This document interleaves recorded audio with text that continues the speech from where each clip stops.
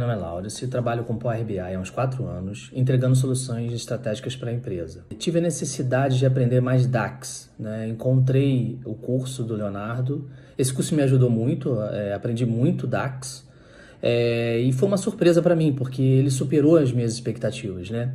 É, o, o, Leonardo ele explica é, assim, muito detalhadamente as coisas, é, você consegue aprender porque você é, aprende passo a passo, né? Ele explica desde o início até o fim aquela função, né?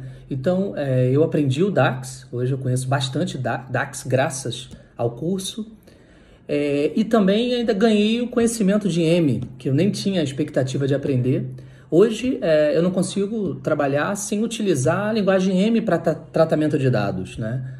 É, eu recomendo muito esse curso, eu sempre sigo todos os cursos que o Leonardo faz.